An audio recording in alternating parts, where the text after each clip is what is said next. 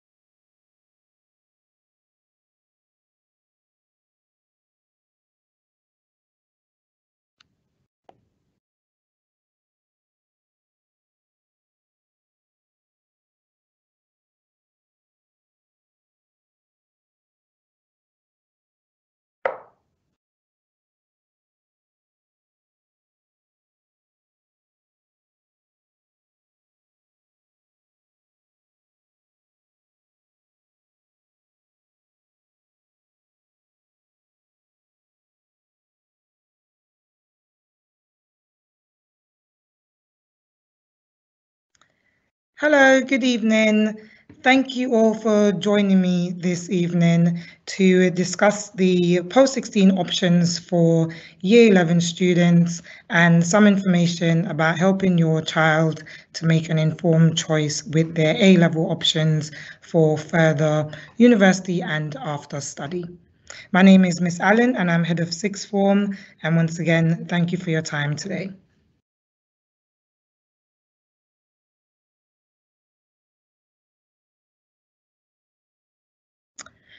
So post-16 education um, should comprise of an opportunity for your child to study something that they're passionate about because they go from studying the traditional 9 to 10 um, IGCSE options and they can streamline those options to start really focusing on what they really would like to do for their career.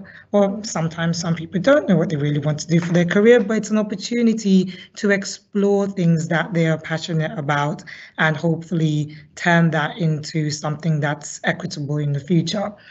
It's also an opportunity for your child to achieve a qualification that can then open doors for their chosen career or potentially open doors that they didn't even have on their radar.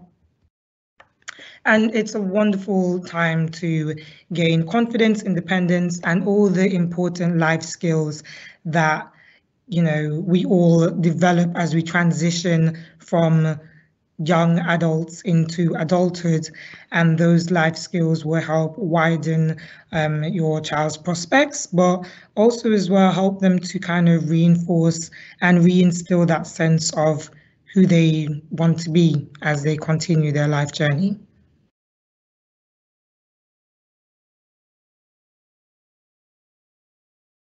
So the entry requirements for the Park House sixth form as outlined in the letter that was sent to you um, about this evening are six IGCSEs at grade C or five and above, and that must include English language and maths because English language and maths are basically the bedrock and the foundations for most A-level subjects that a student can um, follow through with.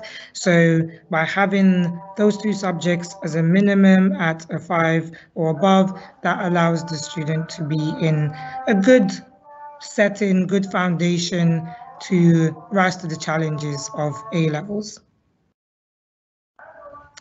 Additionally, they would need a B minimum or six in the subjects they wish to study so that they have a good understanding at foundation level for beginning that journey um, post 16. And on the slide, you'd see that I've added the old grades, which are your more traditional A star to U grades with the newer numerical conversions as I know that, you know, some of us, myself included, still readjusting to getting used to, you know, what equates to a C grade or a B grade with the numerical system. So a C grade is your what's known as now your four, which is a standard pass, and then as the numbers increase, that equates more to your A and A star grades.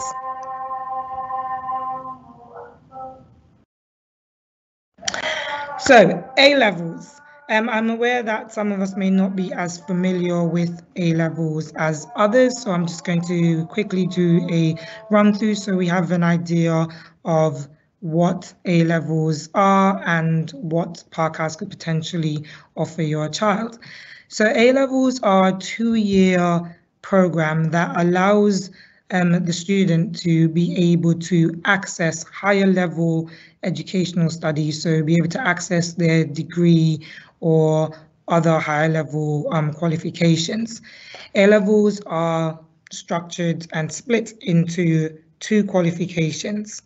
The full A levels are two year qualifications, but due to the international nature and the transient nature of being international, um, our students have the opportunity to complete their A levels as an AS study, which is about 40% of the full A level in the first year.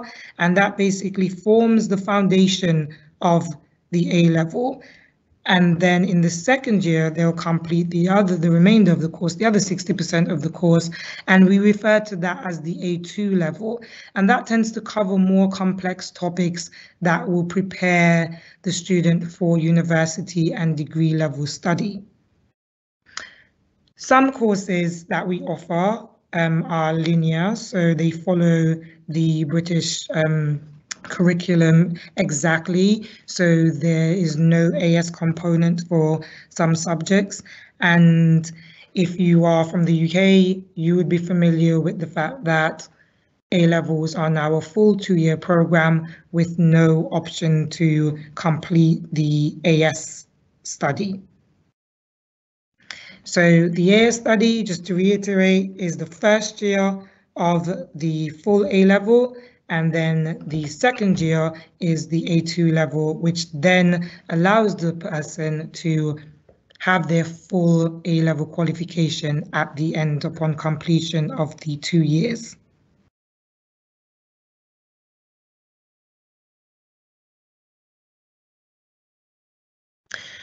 So just a little bit more on the difference between AS and A2 level.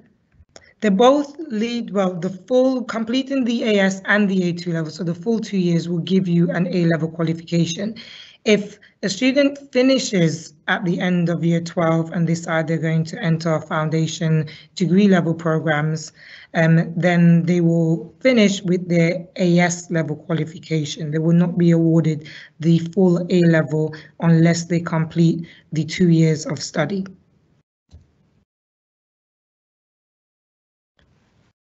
So when applying to university, your grades at AS and A2 are awarded what's known as tariff points, and those are then compared to that specific country's um, high school qualification grades. And for example, in the UK, that's converted to what's known as UCAS points. In the US, that's converted to a GPA. And in Canada, you just get given um, a, based on your grade, you get given a point system. If your child decides to complete their full A-level qualification, thus finishing their British education, they will be awarded um, level two transfer credits, sorry, they will be awarded transfer credits for completing the A2 level studies. So that second year of univer that second year of your A level, that sets you up nicely for starting your degree. The USA and Canada will award transfer credits depending on your grade. Normally, if you achieve a B or above in specific A levels, that are linked to your degree pathway, then you will be awarded transfer credits. So it's definitely something to sit down with your child and think about very carefully um, if they're going to follow through with the full qualifications and finish their A levels, which will give them a better grounding for applying for degree pathways in competitive unis. Um, and the world is just becoming so much more of a competitive um, platform, especially with the amount of students that have deferred entries due to the pandemic. And our students just have to ensure that they are giving themselves the best opportunities and give making their applications as competitive as possible. So choosing your AS studies now and then following through with your A2 levels and getting your full qualifications gives you greater options in terms of the caliber of university you could then apply to two years from now. So in terms of our option blocks that are available for A-level studies at Park House, we have reviewed this and we continue to review our offerings and make sure that we offer subjects that students um, would like to engage with and possibly follow through with to university. So you would note that there's your more traditional subjects, all your sciences, languages, maths, um, computer science, sociology, economics, etc. And this year, well, for next academic year, we will be introducing um, psychology as an option. Um, Spanish will also be an option, and that will be AS only for this acad next academic year coming. Um, and you will note that art has a no AS option because art is a full two-year A-level qualification. So if a student chooses to do art, they are committing to doing the full two years of that qualification. If they do not, if they complete just the year 12, then unfortunately they won't be awarded AS um, level studies. So that's an important point to note if you are thinking of choosing art as an AS option. And you also note that business in option block A um, is AS only. So if you already know that you would like to take business and would like to complete the full A level in business, then you will need to consider taking business in option block C. So with these options, which will be made available to students on their Teams page, um, students are expected to choose a minimum of four subjects to study at AS, at AS level. So they will choose one from each block. So just to demonstrate, if I was choosing my AS options, I can choose a subject from block A, block B, block C, block D, or not block C and block A, block B, block D, and block E. And you can choose any combination of the four as long as you've chosen one in a singular block. So our students are expected to choose a minimum of four subjects um, and it's worth thinking about and having that conversation with your child about what they may potentially want to study at university.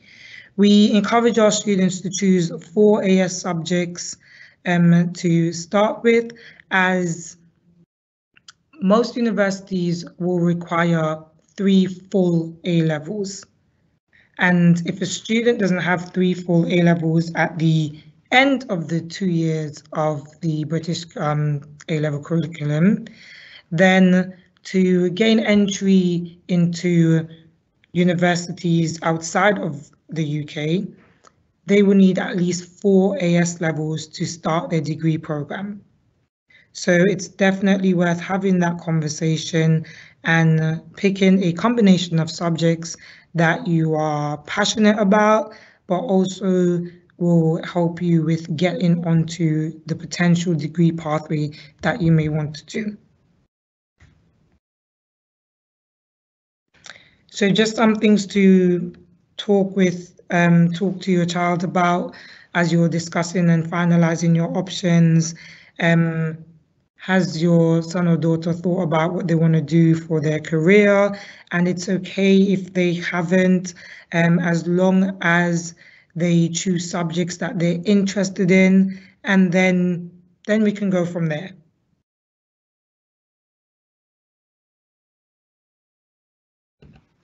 And if they're really stuck as to what they want to do for a career, I'm always available to have a career conversation with both you and your child. And if they're really, really stuck, then I always suggest people just choose subjects that you're good at because clearly there's an interest in the nature of that subject.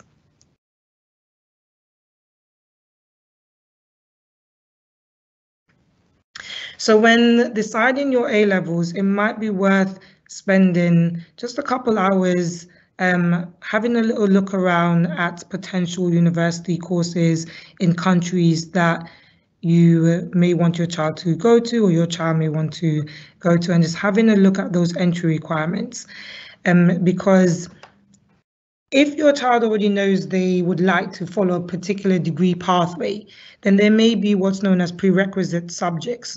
So if they know they're going to be following an engineering pathway, for example, the universities in the country that they're interested in may require physics or maths or physics and maths as prerequisites. So when choosing your AS level options, you'd have to make sure you incorporated those two subjects as part of your four. So it's worth just having a quick look at some university websites in the country or countries of your choice, just to have a feel for what may potentially be those entry requirements. And if as a family you are um, particularly stuck on doing that, please just reach out to me and I will help you with having a look at those university websites and having a look at what those potential entry requirements may be. It's worth noting that when you're doing this um, brief research, that the same course at two different universities may have different entry requirements. So one university may say, okay, you need to have English language, and another one in the same country and say, well, you don't need English language, but you need chemistry. So it's definitely worth having a look at more than one university and just having a general feel for what those basic requirements may be so that you're choosing wisely and making an informed choice.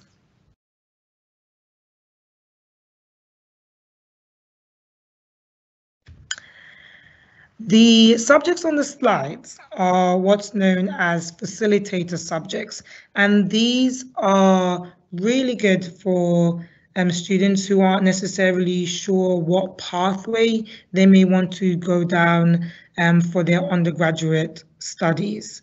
So these subjects, biology, economics, chemistry, history, any of the languages, maths, English literature, physics, geography, tend to give students enough of a solid um, study program at A level to allow them to have the skills necessary to do multiple degree pathways. So having one or two of these subjects in your arsenal of A-level qualifications when you start applying for university is really beneficial, particularly if you're not sure, you know, specifically what degree pathway you may want to follow. So that's also worth having a conversation um, if your child isn't 100% sure at this moment in time what they would like to explore for their career. And that's absolutely fine. I mean, I'm sure at your own age, you probably changed your mind several times along the way as to what you wanted to study yourselves. And you know, so it's important to make sure that we explore as many options as we can and make sure that the students are as informed as they need to be in terms of looking at subjects that could support the degree pathway, if not lead them directly onto the degree pathway that they wish.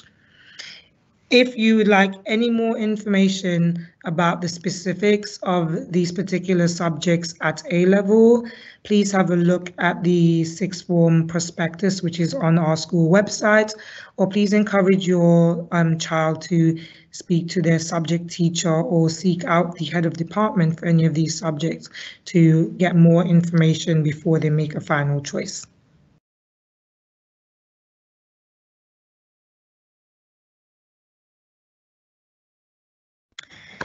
So the options form um, for IGCSE students is available from tomorrow and that will be posted on the Key Stage 4 Teams page um, tomorrow morning and it will be open for you to uh, complete by the 6th of March. So please feel free to use that time to talk to teachers in lessons, reach out to heads of departments for more information, carry out a little bit of research, reach out to me for more information should you need it, and have discussions um, in the upcoming parents evening about what your son or daughter's options may be based on what they may be interested in.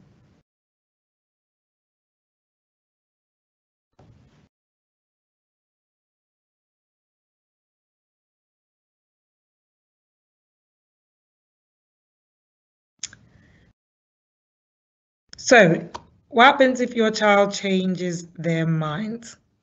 That is absolutely fine. Um, as a sixth form team, we are very flexible in trying to make sure that students are on subjects that align with their passion, but also align with what they may want to study at university, but also makes them happy. They should be studying subjects that they have an interest in because A levels are significantly different to IGCSEs. The subject name may be the same, but the subject nature changes significantly. And if a student is interested in that particular subject area, as those challenges um, develop, they'll be able to you know, rise to those challenges because they have that interest. So if your child embarks on an AS program and they're not you know, too sure that that is the pathway they want to follow any longer. It's very important that they come and speak to me and the sixth form team as early as they've made that decision and as early as they've made that realization. And because we will need to check if there's still spaces in those classes that they may wish to move to.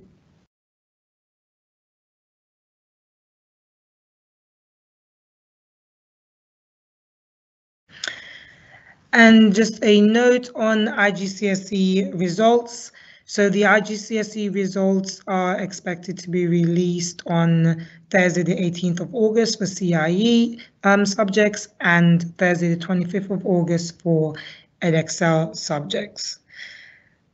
We are due to return to school um, earlier this academic year due to the um, World Cup happening um, and more information on our start date will be sent out by the school.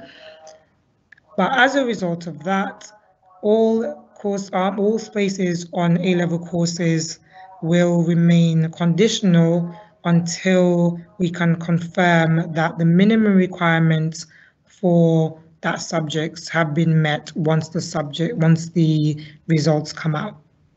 So it's very important that students choose subjects that they're interested in, but also subjects that they know in their heart, like, you know, they know they're going to work hard to ensure that they're on that course and can rise to those challenges and work as hard as they need to.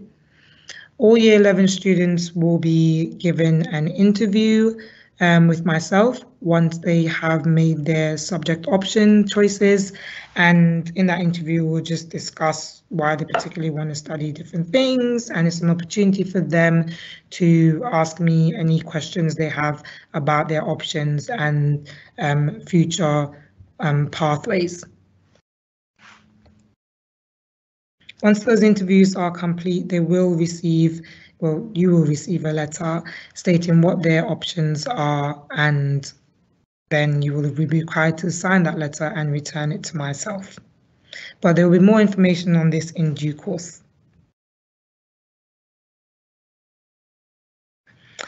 And that is all for me this evening.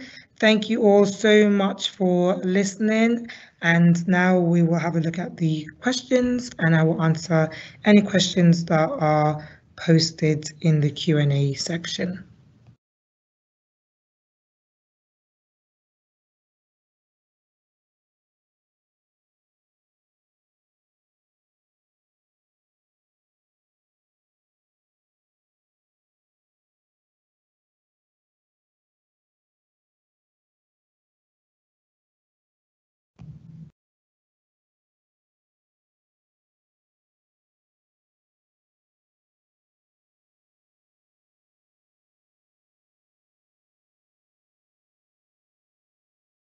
Okay.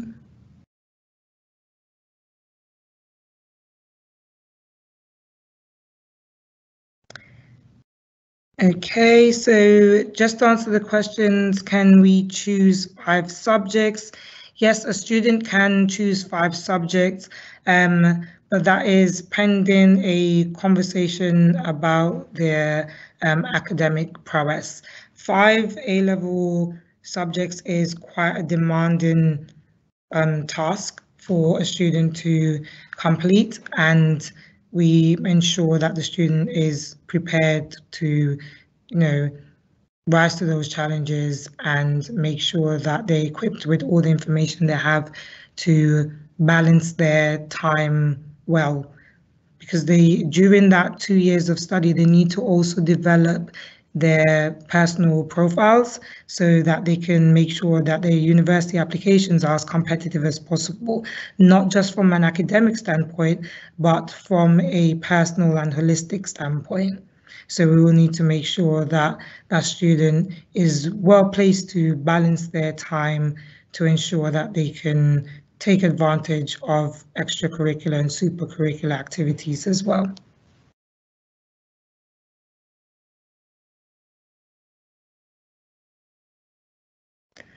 Um, there will be no further maths offered for the next academic year, but if a student is interested in taking further maths for the next academic year, if they can just note down on their options form and we will review the numbers for that subject and inform the people affected as we um, have a look at that.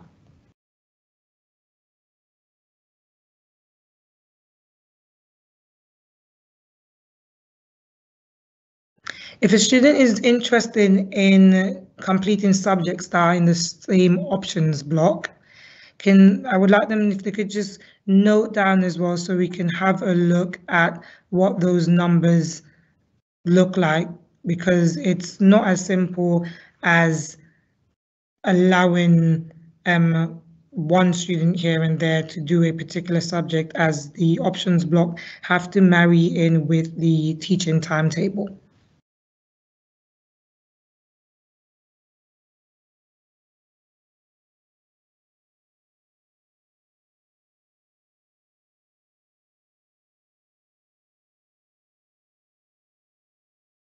Um, someone has asked, is digital media not a subject choice anymore?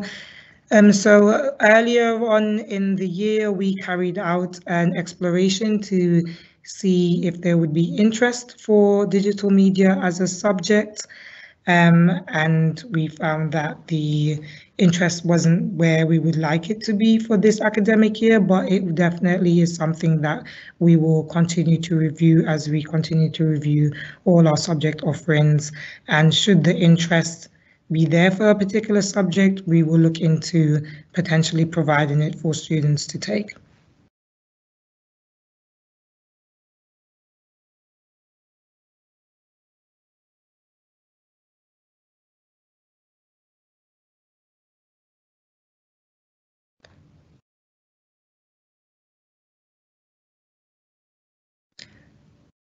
Oh, yes, someone said that the form needs to be submitted in the sixth and parents' evening is on the 9th.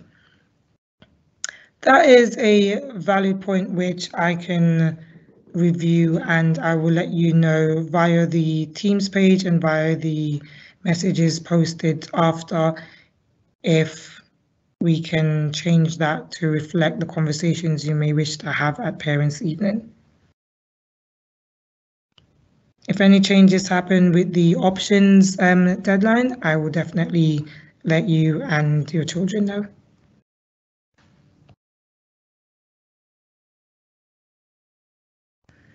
Well, we're fortunate enough to be able to have the interviews in real life. Um, and I would like to have the interviews in real life. It's always a good opportunity to get to meet all the, you know, upcoming year 12 students as I don't know a lot of them because I don't teach um, a lot of the year 11s. So it's always a good opportunity for us to meet meet each other for the first time and touch base and have those initial conversations. Where those interviews can't be held in real life, if a student is off during their interview time for whatever reason, I'm more than happy to schedule those over Teams.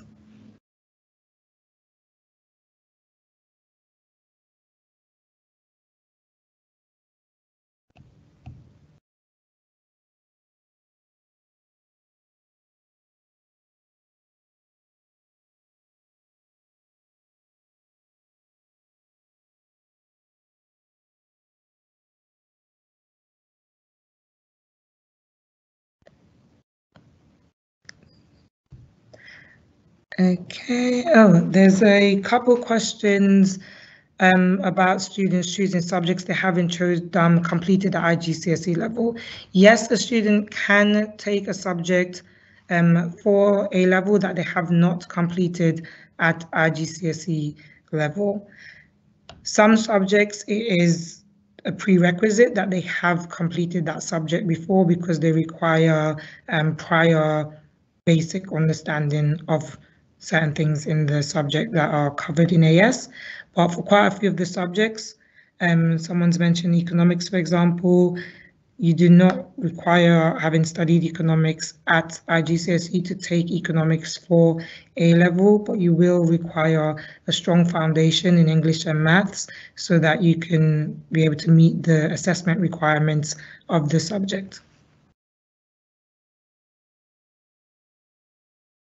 The same extends for subjects like business and sociology and psychology. Where those subjects are heavily essay based, then I will look more towards the strength of their IGCSE English qualification just to ensure that that student is going to be successful with meeting the assessment um, criteria.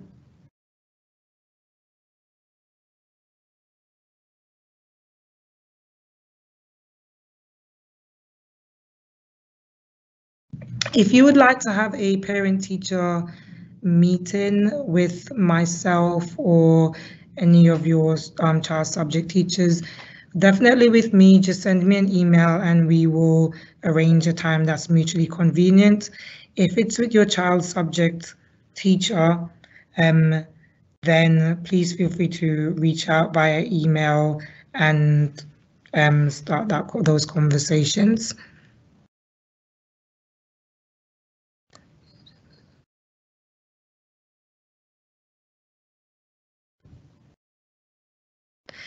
If your son or daughter is completing a double award in science at the moment, it is worth noting that they will require um, an eight, eight and above to be able to do a single science at AS level.